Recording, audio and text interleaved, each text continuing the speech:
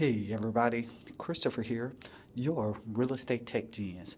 And today is my first day, October 7th, to my new contract over at Genesis 10.